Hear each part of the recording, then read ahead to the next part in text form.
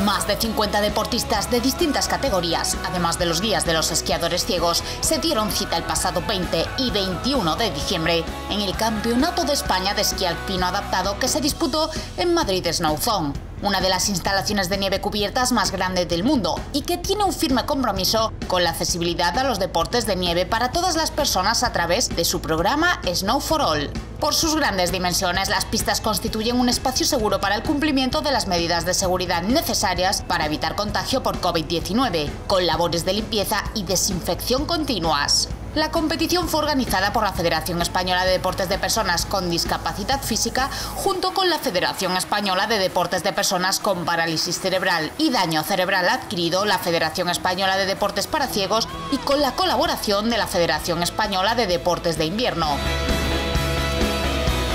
en la disciplina de esquí silla categoría femenina, Odri Pascual se coronó campeona al lograr una puntuación total de 150 puntos, tras la disputa de las dos mangas en la jornada dominical y del lunes 21. La esquiadora, perteneciente al Club Deportivo Elemental también, se impuso en una gran actuación a Natalie Carpanedo e Irene Villa González, también del citado club, todas adscritas a la Federación Madrileña que acabaron segunda y tercera con puntuaciones de 95 y 70 respectivamente. En la categoría de esquí a pie femenina, Raquel Martínez de la Federación Castellano-Leonesa logró la máxima puntuación de 150 para hacerse con el título nacional.